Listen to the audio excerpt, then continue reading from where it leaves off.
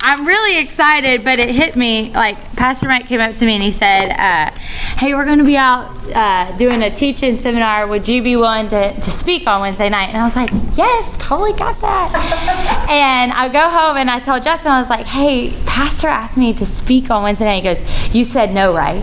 And I was like, but what he what he's meaning is he would never do anything like that. So if you know anything about Justin, I'm, what you're going to learn tonight, because I'm talk a little bit about him, is that he does not really like to speak in front of people. He will sing to you all night, but to speak to you is just not his gift. So I think it's my gift to speak because I speak all the time. I like to talk, and uh, but but I, it hit me that the only time I've ever taught, like done, you know, talked to kids is I've talked to students. I've always been in student ministry, and then or like women's Bible study, and I've sang to adults. So it kind of hit me. I was like, I've never talked to adults.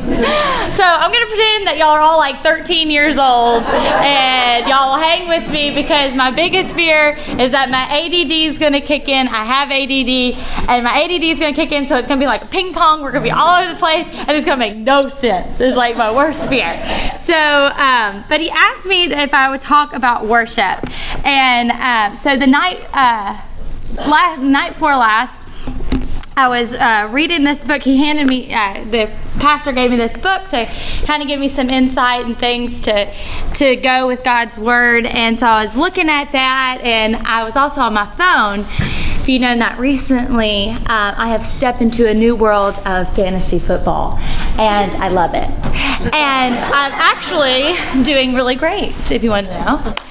Um, so I was I read this book and I was thinking about football. And so when I went to bed I had a dream. It's so vivid. I had a dream that I was up here talking and everybody out there was football players. And they were rookies. And I was asking them do you know how many uh, fantasy points you put up?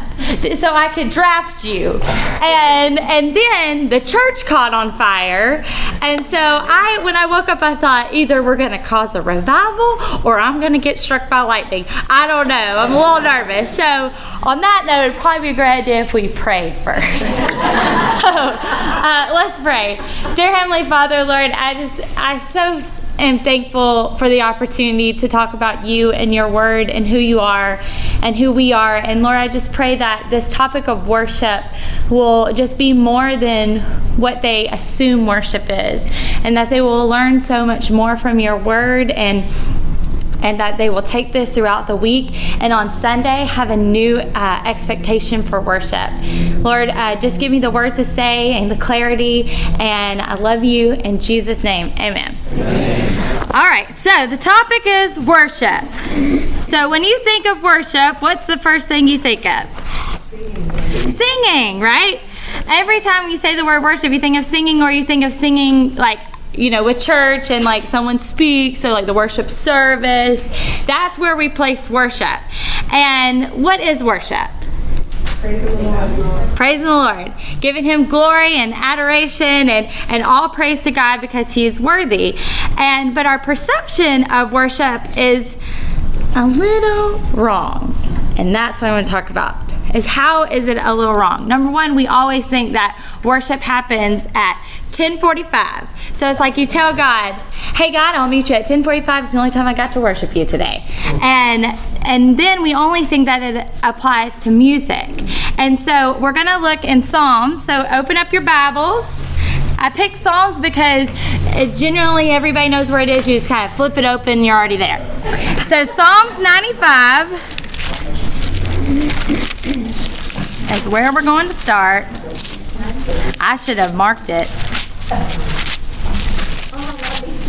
I know, y'all all beat me there. Okay, so it says, Oh, come, let us sing to the Lord. Let us make a joyful noise to the rock of our salvation. Let us come into his presence with thanksgiving. Let us make a joyful noise to him with songs of praise. For the Lord is a great God I just want to stop right there. All of Psalms is basically a bunch of praise songs, really, in themselves. But that it's calling us to sing to the Lord and make a joyful noise, which a lot of people joke and say, I can't sing, but I can make a joyful noise. And, and so this is telling us that let us come into his presence with thanksgiving. Let us make a joyful noise to him with high praise. The the thing about worship is is sometimes we get our minds wrong when we think that when we go to worship it's to be an escape. To think god i'm just going to leave everything outside the church. I'm going to come in. I'm just going to worship you. I need this five minutes of just you and me. And that's wrong. Worship is where you know when we're out in the world we're like soldiers for christ. We bear the truth and we're truth bearers for him. And when we come on sundays you probably are broken, beat up, you've tired, you've dealt with family, you've dealt with friends, you've dealt with, you, you have burdens, you have bruises. And so you're a wounded soldier going into worship. And so worship is you going in wounded and bringing all of those, those wounds that you have, but setting them at the feet of Christ and praising Him because He is full and worthy of all of our honor and praise. And then He restores you through your worship because your whole focus is on Him. Your whole focus is on Him because of what He did for you, your salvation. I mean, everything else is frivolous when you think about it. I mean, even your biggest burden of health or your family is nothing compared that you were under the wrath of God and now you aren't because you are saved through Christ. So all of your worship should just be to him and he's going to restore you so then you can go back out that week as a soldier but your maybe your bruises are not don't hurt as bad because you got to worship the one who can heal that. And so I want I want you on Sunday when you come into churches to not think about I'm going to leave everything behind and I'm going to walk in, but think I'm just going to take everything I am and I'm just going to give it to you and I'm going to worship you because you're worthy of worship. And when we take our, ourselves out of the equation, it makes the biggest difference. You know, if we went around to like what there's like five churches like right here. If we went there they would all have different music right? We all sing different there's different styles. And we've seen that through through generations. I mean, I have I'm a collector of uh, hymnals. I like music; makes sense for me to collect hymns. Um, and so I love hymns. I, you know, name a hymn I could sing it. Like uh, we play a game, Justin and I, where we go back and forth in the car, like singing hymns and and things like that. And I love the old hymns, and I also love praise and worship music. And what we've what we've seen through you know these generations of differences is people, and I'm sure you've heard this. You know, I just can't go to that church. I can't stand their music. And that could be either way. It could be, I can't stand that rock and roll. They have lights and everything. It's just all about a concert. That's all they're about is themselves. And, or it's, I can't worship to that old music. Gosh, it sounds terrible. But all of that is about is you. When was worship supposed to be about you and you caring? We should be able to worship to anything. And I was really, my eyes were open that when my dad's a youth pastor. He was a pastor now, and, and for four years in my high school, we always went to Rio Bravo, Mexico, and went to work at a deaf school. And on one of our trips, we went to a church service in town. And we were riding in town on this bus to get there. And you go through this one part of the city, and it's, you know, it's not super nice, but it's, you know, it's fine. But then we kept going deeper, and and you go over this like like a dam kind of looking thing, and there's no electricity at this in this part. And you're like, okay, so there's not gonna be air conditioning, it's gonna be fine. And then you go further in to where the church is, it's where there's no electricity and there's no water. And the smell was terrible. But there's this one building as a center center box and like a, just a door, and we went there. We went there for the church service, and the whole thing was in Spanish. But it was the mo- I I can't speak Spanish. Sometimes I think I can. Like today with the cleaning people, I did say Europa por niño, clothes for a boy, but I'm not sure if that was even right. But I was really proud of myself. But I don't speak Spanish. All right, I don't speak Spanish, but I want to real bad. And um, but we were there at this church, and all the music was in Spanish, all the preaching was in Spanish. But we just, I could feel the presence of the Lord and the joy in their heart, and I just knew that I could worship because I knew what they were meaning, even though I, I, couldn't understand. And then it really opened my eyes, going, oh my gosh, God speaks Spanish. He is way bigger than I could ever imagine. you know, like, you know, oh my gosh, he, I bet he speaks Japanese. Like, you know, it's just taking this whole like little American God that you have or the little God that you grew up with, and it really puts him on a bigger, bigger scale of who he is, and he accepts all worship. And and it really was in that moment that I thought, there is no magic to worship. It's just giving God the glory that He deserves. Today on uh, Facebook, I don't know if you ever get caught up in videos, like if you click on a video, then you can watch a video and a video and a, y'all are all looking at me like y'all know what I'm talking about, but you know what I'm talking about. Yeah. You all look at the video, video, video, and then like two hours later, you're like, oh, I should probably put my phone down. So I was doing that, and I came across this pastor, and he's one that actually I like. I like to hear him preach a lot, but he was he was saying the same thing that I know you've heard, like when you're going through a trial, you can worship at the beginning, but can you worship in the middle? You know, that kind of like sermon. Can you worship in the middle? And I was like, oh, I've heard that so many times. I'm, you know, that's good. And I thought, wait a minute we should be worshiping him no matter the situation because we're worshiping him because he is a holy and just God despite our questionable situation we're in. Like you have a questionable situation or you want something. Do you see where I'm going? It's about you. It's about you. It's about you. Will you still worship him? If you're going through this, will you? No. You are called to worship him because you're the created and you are called to worship the creator. It doesn't matter your situation. Though your situation can make it difficult, that shouldn't change his holiness and our our call to worship him. So I, you know, the promise we we forget who it's for. And um, we don't like particular things. And one thing Pastor Mike kind of said he's when he was telling me like what he wanted me to speak on, he was like, you know, talk about you're so good about being expressive and worship. and I was like, okay, maybe I'll talk about that. But before I came to this church, my husband and I were at another church called Clay Road, and there was a girl that sang on our team. And for some reason, I've never in my life had someone that like just had it out for me for some random reason. I mean, it doesn't make any sense, like, but she had something. I don't know. And one day she called me after worship, called me after church, and she said, Natalie, I just need you to know something. And I was like, okay. She said, um, there are people at church and uh, people i just want to let you know this because people are talking and saying that you are too exuberant in your worship and you are not authentic and people can see right through your worship uh, you would you would think in that moment I would be like, um, girl, you need to check yourself. But I was like, oh my god. I mean, I cried my eyes out. I called Justin. The pastor and his wife had to get involved. We had to have the sit down. You know, what is this about? I mean, it was just an attack because I, I, grew up in a Baptist church. I remember the specific moment I raised my hands for the first time. It was here and it was at a youth event. This is as far as I went. But I think the way you worship, and I know what Pastor Mike was saying, you know, about just being who you are. I'm an expressive person. I'm talking with my hands now. So it makes a lot of sense for me to worship that way because that's who I am. But I don't want you to think that you have to be like I am to really experience the fullness of God or you're you're going to really be worshiping him because like my dad is a really great example. My dad he, I asked, we started talking about, you know, this topic so he could help me. So all this, I give glory to, to Jesus and Dad.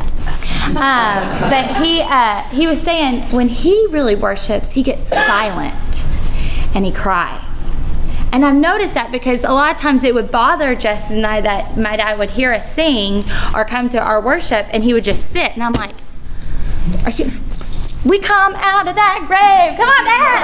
You know, you come on, Dad. Dad, get up. And he's just sitting there. And I'm like, everybody's going to think my dad's not saved because he's just sitting there. But then when he said that, it made sense to me. My dad's not an eccentric guy. He like he thinks about things and he sits and ponders on those things. And so even though the person next to you, even though Mary's doing the helicopter in the aisle, that's Mary. That's that's who Mary is. We expect that of Mary. She's like that even when she's not worshiping. So all of our worship is going to look different. But it's that when you worship, you just worship with all that you have Amen. to give Him the glory for all that He has done, despite what's going on in your situation. You keep Him the focal point of your worship.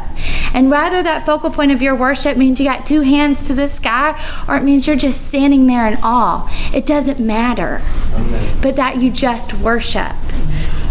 And we don't just limit that to, uh, to Sunday mornings. So now the focus isn't just Sunday morning worship. Well, now what does worship look like throughout the week? Does that mean you listen to KSBJ every single song, you know, and sing a song? No, worship is in what you do. Amen. So my dad said something that like I'm like, this is why you're a pastor because my mind is exploding. But he said something that was so cool. He said, You are a worship leader. And I was like, I know, Dad. I'm a worship leader. He goes, No, no, no, no, no. You are a worship leader. Yeah, you sing. But you're a worship leader because you call others to worship Christ. He goes, That's same thing as, he goes, um, Who's that? What's that guy that your friends? He's like real big, muscular. I said, Ryan. He was like, Yeah, yeah, yeah. Ryan and Yvette. And I said, You know her name? You didn't know Ryan's name? so said, Ryan, I noticed every time he came out, he came out with a smile out after church and shook somebody's hand. Said, He's a worship leader because he, he, he leads people to worship Christ. And I was like, Wow. And he said, What about the greeters at, at the door? I was like, Oh gosh, Joy! Because she's a worship leader, Amen. because she leads people to worship Christ. The nursery workers, you help us by not only leading our children to worship Christ, but you're allowing us to worship Christ, even for that little hour of, of music. But you are leading. So, in every aspect of your life, no matter what you do, you should be leading others to worship Christ. You're a worship leader. We just put the stigmatism of worship to music, but that's not where it excludes. That could be maybe where your heart begins, where it opens, but it should be in every aspect of your life. It should be everything that you do, you say and do, and, and to your talents. Like, I sing clearly, but that I do that because that's the talent that I feel like God's given me, and I, I want to use it to my best of my ability, and and that's through leading others to worship Christ. And uh, but then there's Bill who does our soundboard. I don't know if you know who Bill is, but Bill knows things about music, like technical things that makes no sense to me. And he gets real excited about certain things that doesn't make any sense to me. But he, that's his passion. And through his passion, he's helping others worship and lead others to Christ. And so sometimes when I hear people talk about, oh, those big churches and those lighty things, they are just all about themselves. Number one, no. Number two, we are called to give God excellence. Culture changes things. You do things sometimes to be relevant to culture. But why would you exclude somebody who wants to, to minister and has a passion for that? I mean, uh, Charles is so good at stuff like that and, and sound and helping and lights. He knows things like that. Why would he not use his talent in the church to help us? When you take it to that kind of scale, it makes more sense. I mean, there are churches that don't believe in using music um, because they don't want to take the focal point off of God. I understand that. I just think they're going to be sorely disappointed when the trumpet sounds and they're going to be like, what? Wait a minute. I, I can't focus on Jesus coming in on the horse because of that trumpet. You know? Or, but that would be like, that. I just, in my heart, I feel like that would be like someone saying, Kenny, don't use your talent in guitar for the glory of God. Just use it in your home and serenade Brittany. She wouldn't appreciate that. but it's using your talent and what that is. And it might not be in music. That's okay. God has given us so many talents. But what He wants you to know is that you are a worship leader. Amen. You are called to lead others to worship Christ. And, and one thing I'm really seeing a lot um, uh, recently I, I, heard this pastor say this and I'm like blown up. I'm getting, this whole week I'm just like, pew, pew, this is so great. He says that everybody is a Christ bearer. Everybody was made in God's image. Everybody bears Christ. That's why a lot of people who have different beliefs than you, maybe who deny God or whatever, they suppress the truth, like a, like one of those, you know, games, you know, that keeps popping up.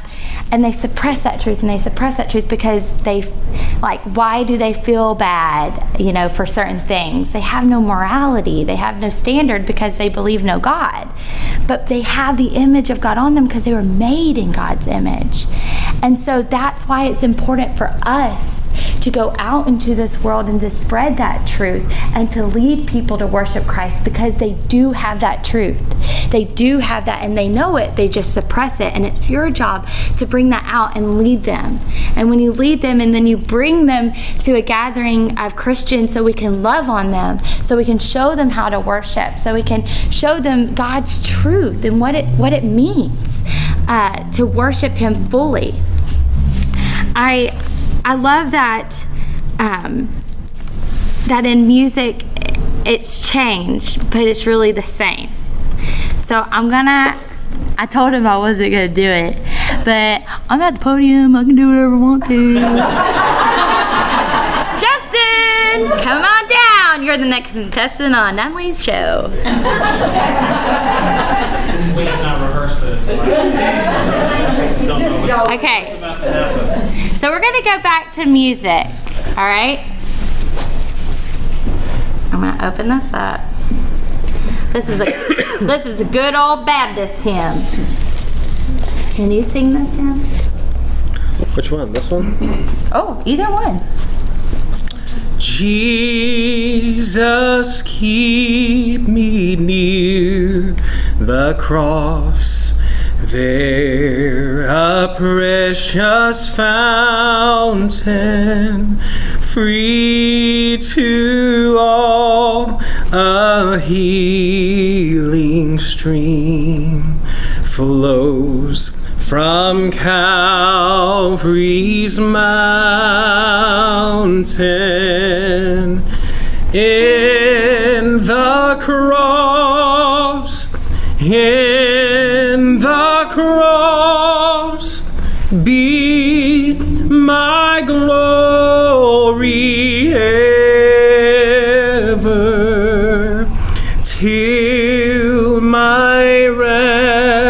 Ransomed soul shall find rest beyond the river.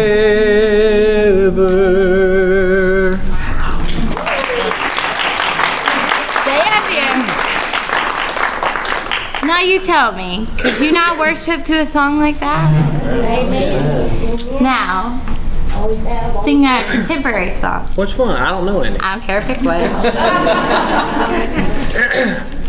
it's your breath in our lungs, so we pour out our praise. We pour out our praise. It's your breath in our lungs. So we pour out our praise to you only. Great are you, Lord. I could worship to that too. See, thank you, Justin. I'll be here all week. See, styles change. I mean, you know, I, I don't know if you've even heard this, like the Amazing Grace and some of the old hymns were even written to some bar tunes because people knew them and they were easily to catch on the, the tune of the song. They, things change, meanings change, styles change. What doesn't change is that God calls us to give Him glory. That won't change. When you walk into a sermon and, and, and taking it outside of music and saying, when you leave like church and you say, you know, I didn't, I didn't get anything out of that message today, really. Um, did you read the Bible? Because I'm pretty sure something in there was for you. And and it's so easy for us to put it back on us when it's all about Him. We we just happen to get you know in His grace, but it's all about worshiping Him. I want to go back to this uh, uh, 95 in Psalms. And it says, um, down to verse 6 Oh, come, let us worship and bow down. Let us kneel before the Lord, for he is our God.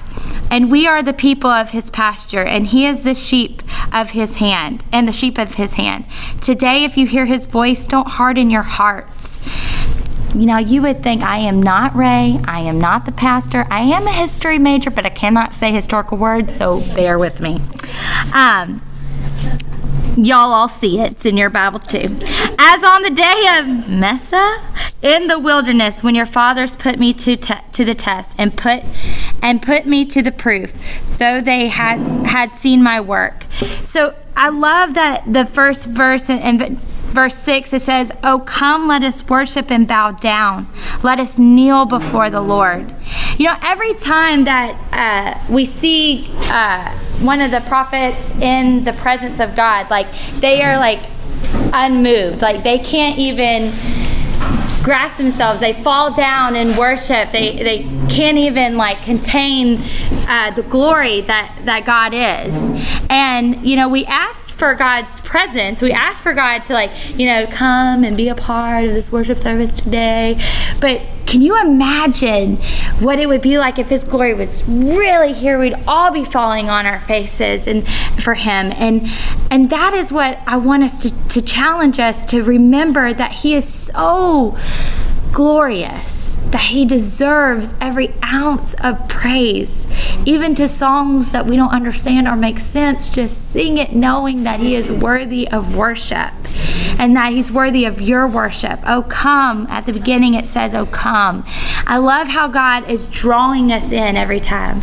I love how the verse always starts with oh come. Even in the scripture in the new testament when he says you know let the children come to me. My favorite um, worship song that I have written on the list to sing, yet it hasn't been sung, is uh, this song called Come to Me. It says, How's it go? I have to think about how to sing it. Come to me, I'm all you need. Can you hear him saying, Come to me, I'm your everything. I love that that voice that he's saying, "Come." He's drawing his children in, and so when we're there, you know, it's like sitting at your father's feet. And you i don't know if you ever had this as a child and it may be different for each person's childhood so it might not be a father figure but someone you really adored. I remember when i was a little girl um, sitting in my grandfather's lap and there's a video of him singing to me. And he's uh, singing a little song and i look up at him and i just smile and he just smiles at me and he cries. And it's a picture because i just adored him. I loved him. And i think that's the same image you need to have on sundays when you come and you worship that you just love him and you just adore him and you're just proud to be in his presence with your your family in Christ. And then after you've worshiped him and adored him, then you figure out how can I use my talents that God has given me to lead others to worship Christ. And that's when you fall on your face and you ask him, How am I, little old me, who has no ability to sing or whatever you feel like you are, are limitless in, that you fall down and you ask him, Lord, all I want to do is worship you, and I'm told that I need to lead others to worship you. What does that look like? And I promise you, in the weeks to come, God will reveal things. He'll, you know, a talent that you may have, and He'll say, I want you to do it for this ministry. Or maybe you have something to give in your community or church There might be a talent that you have that our church needs. That there there's something there. I really feel in my heart that there that we limit ourselves because of our insecurities. That's why we limit our worship because of our in- insecurities and we don't just worship him because he's holy. I want to take you back again to that that thing that that pastor said. Will you worship him at the beginning of your trial? Do you worship him in the middle of your trial? Do you worship him when he gives you the answer? How about you throw all that away and worship him because he's holy, because he saved you from your sin? How about you forget about your little dinky trial? They're going to happen day and night all the time. That ain't going to end. But God being holy and righteous is always and never changing. That's what's worthy of your worship. And and how you, you know, I oh come, let us sing to the Lord. Let us make a joyful noise to the rock of our salvation. Let us come into his presence with thanksgiving. Thankful. Woo! Let us let's read that again. Let us come into his presence with thanksgiving. How many times you come to worship and you've been like, there's so much going on today. I gotta be doing this. I gotta get out of here. I gotta make a lasagna. I don't have time for this. And you don't come in there thankful for all that God has given. It's so easy for us to forget about all the great things that God that we should be thankful for it's kind of easy to remember some of those small things if you just turn on the TV and see what's happening in the world around us and you're going to sleep in your own bed tonight. Then you can kind of remember maybe I should go and be thankful right now. You know, instead of waiting till Sunday to come in and be thankful in His presence, He is omnipresent. He's with you all the time. You can be thankful all the time that and that attitude and that gratitude that you have is contagious. And then people are going to be questioning you because your spirit is up and you're thankful for the smallest things. I mean if someone handed you something you know ridiculous and you're like thank you man thank you god is good. They're like what is going on with you? And then you get to lead them to worship christ. Then you were a worship leader that day that's what I want you to do. I want y'all to be to feel his presence and to come to him, to adore him and forget about yourself. Whether you forget about, you know, the style of music or how you worship, let that go. I mean, I know sometimes the pastors can be crazy and be like, everybody put your hands up. I know that could be real awkward for certain people. If me and Justin were out in the audience and the pastor on stage, and I'm not saying our pastor, any pastor, we were at some kind of thing. And they're like, everybody put your hands up, we're going to worship him today. That guy back there would be like this.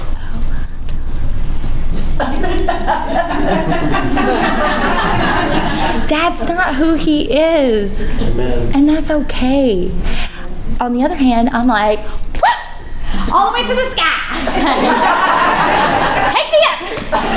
you know, like that that's who I am. And so on Sunday, when you're there, I just want you to be who you are and know that God wants you to be who He created you to be. He knows if you were up there, out there doing helicopters with Mary next week, He would know you are not being the authentic you He created you to be. He'd probably be standing there going like this, What are you doing? I mean, I wanted you to worship me, but you're taking Natalie's talk a little too far. I mean, He wants you to come who you are. Your true worship. Whether that's like my dad that just sits in silence and is in awe. Or it's like me who can't keep my foot from stomping on stage. It doesn't matter. But that you lead others to worship Him, that's what matters. So I, I my prayer for you this week is that number one, you know it's not about music. We tend to always think music, but it's not about music. It's about you leading others to worship Christ. And number two, that you don't worry about how you worship. It doesn't matter. What matters is that you give Him the honor and glory. That's what matters. And number three, I want you to find out how are you going to use your talents that God has individually given you, uniquely given you, to lead others to worship Christ. It doesn't mean in song. It just means them coming into relationship with Christ and then they'll worship the Lord because they'll see that that that he has saved them from their from their sin and they are covered from the wrath of God because of the atonement. I just want us to to worship him because he's worthy of worship. Not because it's something we feel like we have to do every Sunday at 10:45 on the dot on stage. Let's sing, let's go. No. And that we listen to the Holy Spirit. One of my favorite things about the church is that you never can tell how many songs we're going to keep going. The pastor will just come up, we'll sing another one again, we'll do this again. Because you have to listen to what God is calling, not what we're calling. Not the grumbling in our stomachs because it's 12 o'clock, it's time wrap it up. no, but that we listen to God's call because when you think about it, we're selfish and we only give Him till max one o'clock on Sunday, and that's enough. Do you know what I'm saying? We're so selfish, we're so sinful. So on Sunday, I want you to have a new mind. And this week, from Wednesday to Sunday, I want you to pray how God wants you to use your talent the talent that God's given you, a passion that God's given you, to use that to lead others to worship Christ. I want you to think about that. And on Sunday, and if it hasn't rang to you what it's supposed to be, then get on your knees on Sunday morning and worship Him. Just worship Him and worship Him because He's worthy and He's righteous and worship Him, and He will open your heart to that. I I just pray, my prayer for you is, is that this becomes more than just a song. It becomes a life, a lifestyle of worshiping Him for all He's done and everything that you say and do. And so um, I want us to sing a song together. Justin, come on down. I'm not kidding. You're the worship pastor. Come on down. Hey, listened. Now, after after we sing, as I said, uh, we're going to be probably a little early, so we're going to um, open up our Bibles. We're going to take lots of pictures. We're going to post it on Facebook and say we're going to be here all night, Pastor. We're in deep Bible study. Okay, that's what we're going to do. I've got a Facebook Live. Ah! No. What do we He, do? now he knows our secret. We're gonna we're gonna sing a song. Okay. What song would you like to sing? Oh, I don't know. You're you're doing a great job leading us all in the worship, and You're the worst pastor. yeah, yeah. Okay. Let's sing one that everybody needs without all the words. What do you think? How about Oh, great is our God. that's a good one? And if Chris didn't write that one, I was going to. So just put it out there. How great is our God? Sing with me, how great Stand! is our God, and all will see how great, how great is our God. Let's sing it again. How great, how great is our God.